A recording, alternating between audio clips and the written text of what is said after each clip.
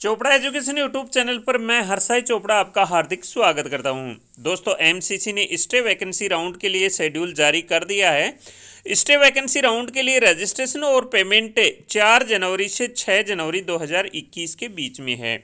जिन candidate ने MCC के first second और मोपअप राउंड में रजिस्ट्रेशन नहीं किया था और वो स्टे वैकेंसी राउंड में पार्टिसिपेट करना चाहते हैं तो उनके लिए ये सुनहरा अवसर है। वो पार्टिसिपेट कर सकते हैं।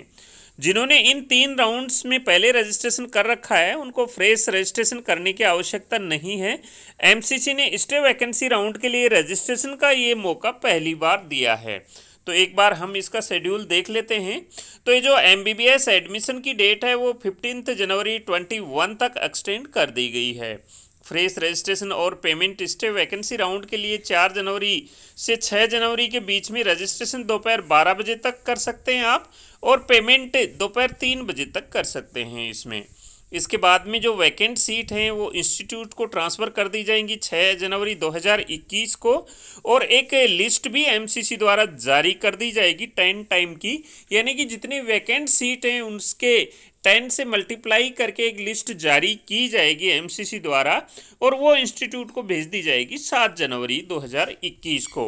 इसके बाद में जो फ़िज़िकल रिपोर्टिंग होगी, यानी कि इंस्टीट्यूट में स्टे वैकेंसी राउंड के लिए, ये सात से पंद्रह जनवरी के बीच में होगी। यानी कि अलग अलग इंस्टीट्यूट का अलग अलग टाइमिंग होगा ये, लेकिन ये सात से पंद्रह जनवरी के बीच में ये टाइमिंग होगा।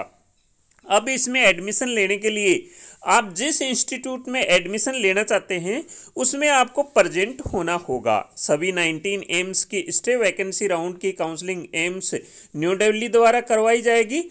और इसकी वेबसाइट पर आपको शेड्यूल मिल जाएगा। हालाँकि ये पहले 30 दिसंबर 2020 था, लेकिन अभी इसको पोस्टपोन कर दिया है। ये इसी एमसीसी के शेड्यूल के अकॉर्डिंग ही ये शेड्यूल होगा। तो आप इसकी एम्स की वेबसाइट चेक करते रहें।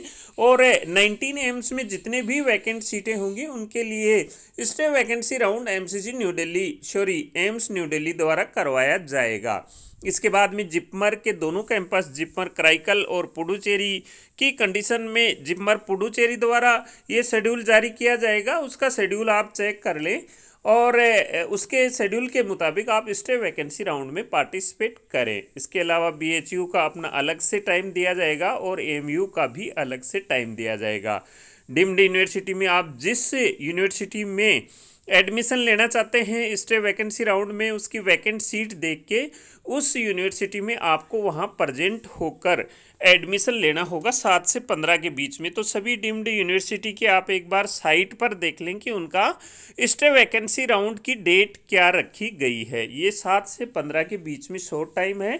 इसी के बीच में ये स्टे वैकेंसी की इंस्टीट्यूट वाइज डेट रखेंगे डीम्ड यूनिवर्सिटी की कंडीशन में।